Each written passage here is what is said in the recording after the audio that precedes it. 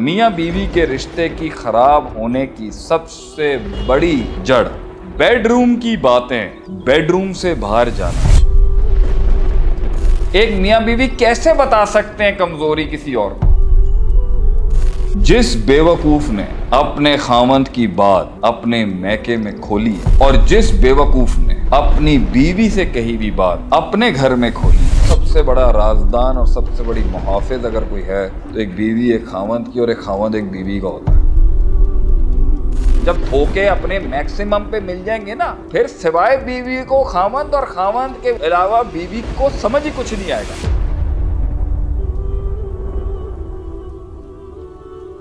हर इंसान की ज़िंदगी में जो एक तहरीक है, एक तहरुक है, एक कॉन्क्वेस्ट है एक उसकी ज़िंदगी का क्वेस्ट है, उसका सफ़र है, उसकी जंगे हैं। ओ मियाँ बीवी, वो वो मियाँ बीवी का सफ़र है। उसमें वो ट्रस्ट ही नहीं कर सकता किसी पर। वो कैसे बताएगा किसी को?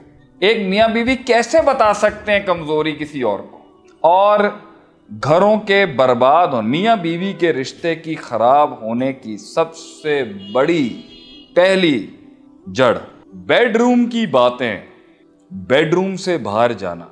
हम जैसे फकीरों की दुनिया में कुफर समझा जाता है उसको। जिस बेवकूफ़ ने अपने खामंद की बात अपने मैके में खोली है, और जिस बेवकूफ़ ने अपनी बीवी से कही हुई बात अपने घर में खोली है, ये इन बेवकूफ़ों को अल्लाह हिदायत दे, मत दे, टांग देना चाहिए ऐसे लोगों को जो अपनी बेडरूम की बातें अपने पर्सनल मामलात में अपनी बहन अपनी माँ, अपने घर वाले उनको इन्वॉल्व करते हैं। ये सबसे बड़ी बर्बादी है मियाँ बीवी। क्योंकि तुम आज उस घर में हो, कल शायद नहीं होगे। ये वक्त जो तुम्हारा ख़राब है, इब्तदाई शादी के पाँच सालों का, ये कल ठीक हो जाए। उसे अकल नहीं आ रही ना, उसे कल आ जाएगी। घर खामद का है। वो मालकन अब खामद के घर के अंदर वो चौधरी अब खामद के घर में है। चाहे घर के हालात उसके जैसे भी हो मियाँ के साथ, लेकिन उसकी शान और इज़्ज़त बंदे के साथ है उसके। आपका बंदा है सब कुछ आपका। और आपने ये समझना है कि आपके भी खानदान वाले एक दिन शरीका बन जाएँगे।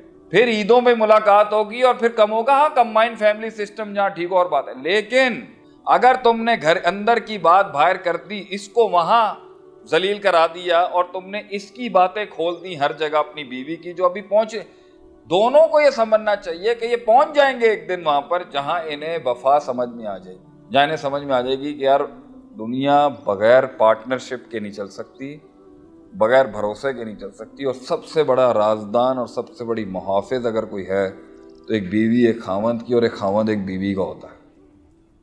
आज नहीं तो कल इस शादी ने जितनी भी प्रॉब्लमेटिक है छः साल नहीं, सात साल के सफ़र के बाद उन दोनों में से जब अकल मत आएगी उनको और जब उन्हें पता चलेगा ज़िंदगी क्या होती है, सल्तनतें क्या होती हैं, चौधराहट क्या होती है, ख़ानदान क्या होता है, सरदारी क्या होती है, शरीक, जब धोखे अपने मैक्सिमम पे मिल जाएँगे ना, फिर सिवाय बीवी को खामंद और खामंद के के अलावा बीवी को समझ ही कुछ नहीं आएगा।